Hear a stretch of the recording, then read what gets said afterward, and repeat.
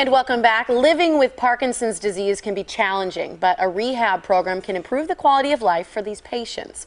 Erica Vitek is an occupational therapist specializing in Parkinson's disease at Aurora Sinai Medical Center, and she's here to discuss rehabilitation options. Thanks for being here. All right, thank you for having me. Yeah, we appreciate it, Erica. I think when people who are experiencing a loved one with Parkinson's, it's a very difficult um, disease to kind of work with and watch. Mm -hmm. um, talked about talk about some of these special programs that you offer it and what they're doing for your patients. Yeah, so definitely. I I work at Aurora Sinai Medical Center in downtown Milwaukee, and we offer a program called LSVT Big and Loud. And LSVT stands for Lee Silverman Voice Therapy and it works on addressing the symptoms that come along with having Parkinson's disease. So typically when you think about Parkinson's disease, you think about the, maybe the tremoring mm -hmm. or balance loss or maybe even a quiet voice or shuffling gait and even maybe a little bit of forward flex posturing. So we take the big and loud components of that program and work with patients to help them live a better quality of life. So. And why are those aspects so important, do you think, for people who have Parkinson's? Yeah, so medications is really one of the biggest things that can help with symptoms for Parkinson's, but the second thing is exercise. So physical therapy, occupational therapy, as well as speech therapy can help to address the symptoms and kind of counteract some of the things people experience with Parkinson's.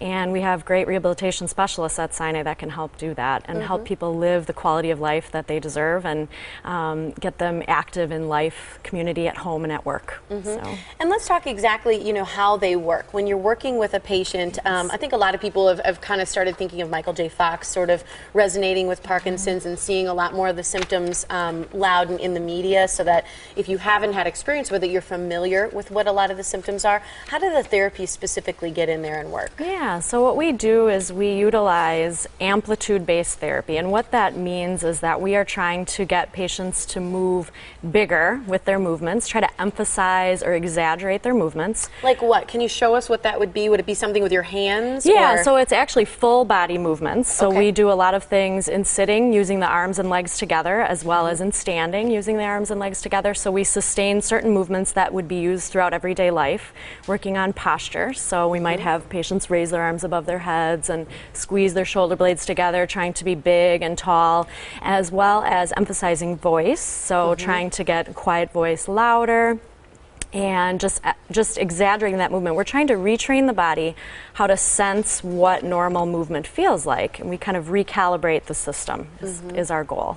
What should people expect when they sign up for this kind of therapy? Yeah, so it's a pretty intensive program, and that's really what's been found and proven in the research to work for Parkinson's, exercising at a very high intensity level, and something that's very complex. So the program runs four times a week for four weeks. So it's a Monday through Thursday program from 9 to noon. So very intensive, very interactive. It's a one-on-one type treatment.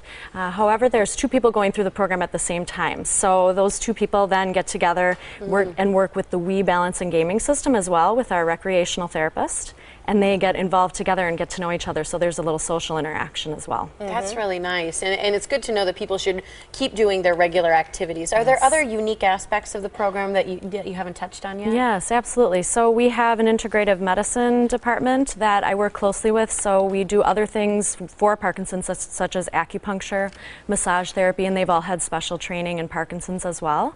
We have very close relationship with our movement disorder specialist, who is just down the hall from us, who is our neurologist, and he can really help to um, address some concerns for patients as well. Uh, we also have a one time a month follow up class. So after patients mm. are done with the month program, they can come and follow up with their therapists, get involved with us, ask questions, as well as exercise for an hour doing uh, voice as well as big movement therapy all together.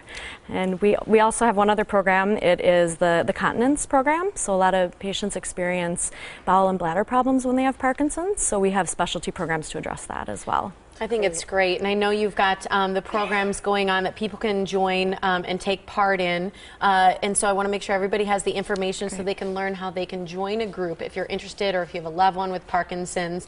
Um, contact Aurora Sinai Rehab Program at 414 219 5241 or visit them online at aurorahealthcare.org and that's where you can find out more about the program that Erica talked about.